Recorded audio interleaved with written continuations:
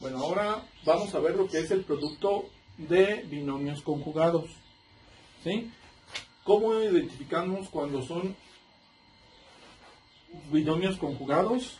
Es cuando encontramos un término común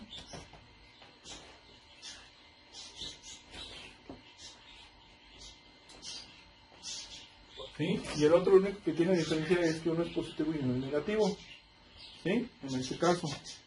Bueno, el producto de dos binomios conjugados es igual al cuadrado del término común menos el cuadrado del otro término. ¿Sí?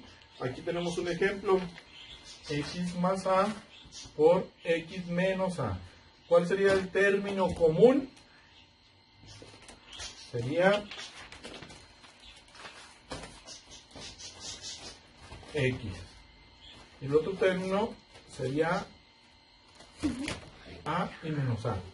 Entonces, x más a por x menos a dice el cuadrado del término común. x al cuadrado es x cuadrada menos, siempre va a ser menos el cuadrado del otro término, que sería a, a al cuadrado sería a cuadrada.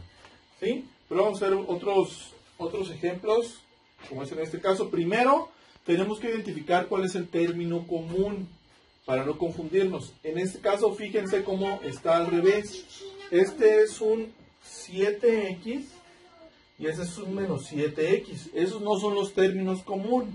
Los términos comunes son el menos 2y y el menos 2y. Lo único que es es que está invertido. Primero está el otro término y luego está el término común. Entonces, en este caso, menos 5m y menos 5m sí son el término común. Entonces, menos 5m al cuadrado sería menos 5m al cuadrado, que sería menos 5m por menos 5m. Y esto sería menos por menos más 5 por 5, 25 y m por m, m cuadrado. ¿Sí? Ahora, el cuadrado menos el cuadrado del, otro término, que es el 3. Entonces sería, este ya lo voy a poner aquí como parte del resultado. Menos el cuadrado de 3. ¿Cuál es el cuadrado del 3? 3 elevado al cuadrado sería 3 por 3, sería 9. Y este sería nuestro resultado. En este caso dijimos que teníamos que identificar primero los términos comunes. En este caso es el menos 2y. ¿Y cómo sería el menos 2y al cuadrado? Sería menos 2y por menos 2y. Menos por menos da más, 2 por 2 da 4, y y por y, y cuadrada. Y menos, este, menos, ahí lo voy a poner el resultado ahora, el otro término, que en este caso sería el 7x.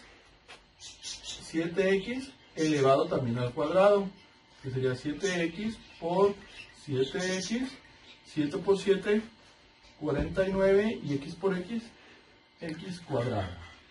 Y aquí sería 49x cuadrada. Muy bien. Y ese sería nuestro resultado. Y a ese resultado se le llama diferencia de cuadrados.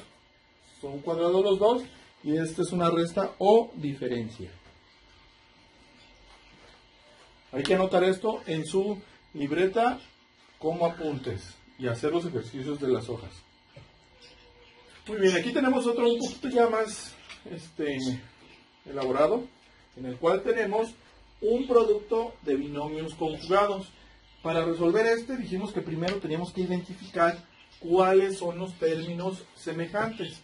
Y en este caso yo me estoy fijando que este es más, y digo, este es menos y este es más. Entonces estos no son los términos semejantes. Pero en cambio estos sí, este es más, este es más.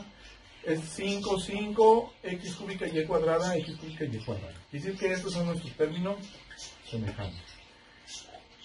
Y entonces dice que para poder resolverlo tenemos que elevar al cuadrado este, que sería 5x cúbica y cuadrada, eso elevado al cuadrado, que sería 5x cúbica y cuadrada por 5x cúbica y cuadrada.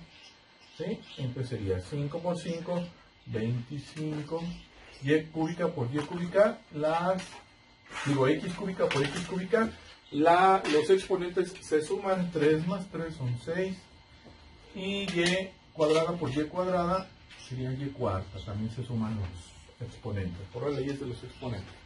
Ahora, ese sería el resultado del resultado menos el cuadrado del otro término. Y sería 7x cuadrada y por 7x cuadrada y. Ajá. 7 por 7, 49. x cuadrada por x cuadrada, x cuarta. Y aquí tenemos una y y aquí otra, entonces serían 2 en total. Y este se pone aquí, se junta. Y ese sería el resultado. Listo.